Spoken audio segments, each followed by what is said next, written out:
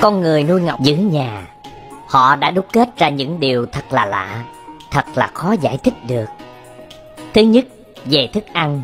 Nếu trong thao chậu đựng thức ăn của ngỗng Chủ nuôi bỏ ít tôm cá vào Ngỗng sẽ không bao giờ đụng đến cái thao đó nữa. Dù là sau đó không có tôm cá Chủ nuôi cố tình chỉ cho ăn tôm cá hay thịt Thì ngỗng thà nhịn đói cả tháng rồi chết Chứ nhất quyết không ăn. Chủ nuôi cố tình nhét thịt cá vào miệng của ngỗng Hay trộn vào thức ăn khác, Nó sẽ ói ra hết thức ăn. Loài ngỗng được mệnh danh là những chiếc máy sáng cỏ, Vì chúng có khả năng ăn cỏ mạnh hơn cả những con bò. Mặc cho cỏ non hay cỏ già, Chúng đều ăn rất tốt Và chúng còn ăn luôn cả rễ cỏ. Thứ hai, Ngỗng có tánh linh rất cao. Ngỗng là con vật giữ nhà rất hay, Nó chỉ quẩn quanh gần đấy dù ngày hay đêm, Ngỗng là loài vật khá thông minh. Vì vậy khi đi kiếm ăn, Chúng có thể nhớ đường và tự tìm đường về nhà, Sau vài lần làm quen như con ngựa. Có thể dùng cụm từ, Ngỗng quen đường cũ Thì cũng đúng. Người ta cho rằng, Ngỗng có tánh linh rất cao, Nuôi chúng sẽ trừ tà, Những oan hồn Dòng linh không còn nữa. Con chó khi thấy người bên ngoài cổng nhà là sủa còn ngỗng thì khi người lạ vào trong đất nhà của chủ, Lúc ấy ngỗng mới kêu to. Khi nghe tiếng kêu càng dồn dập và mạnh mẽ, Thì chắc chắn có biến. Mảnh đất dông linh nhiều, Chủ nhà sợ thì cứ nuôi ngỗng. Vài ngày thì ngỗng sẽ xua dông đi. Chó không biết có bảo Còn ngỗng thì nghe được tần số rất thấp, Cảm nhận độ ẩm tốt, Hơi nước trong không khí, Thời tiết biến chuyển rất tốt. Nên hay kêu và nhốn nháo Một điều kỳ lạ nữa là Khi ngỗng đẻ trứng Ngỗng được con mái ấp, còn con trống thì canh.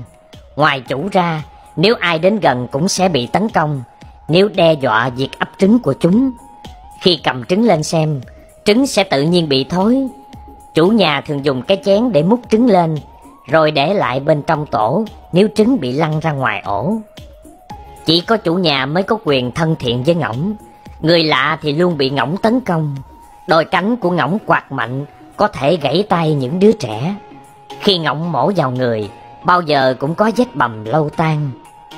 Cặp ngỗng rất trung tình, nếu một con chết đi, con còn lại sẽ sống một mình đến chết. Khi chủ nhà muốn bán hay cho ngỗng con, dẫn người lạ vô xem và bắt ngay liền lúc đó.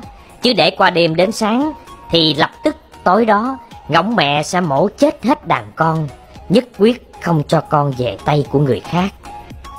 Số 3.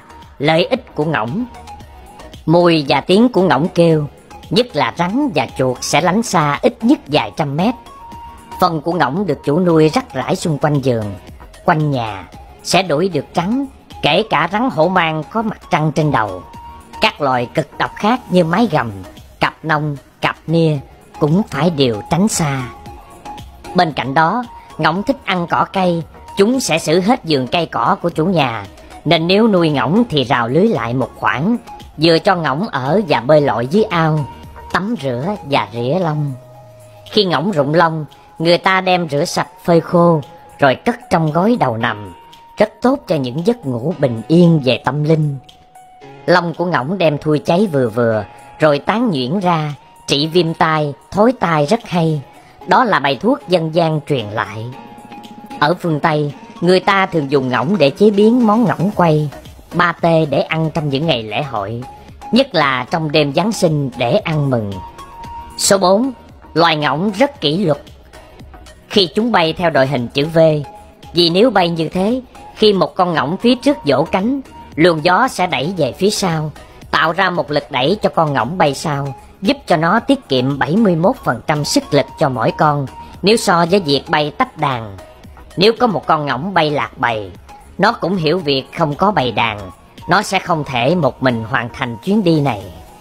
Khi con ngỗng đầu đàn mệt mỏi, nó sẽ bay xuống phía dưới và dừng vị trí dẫn đầu cho con khác.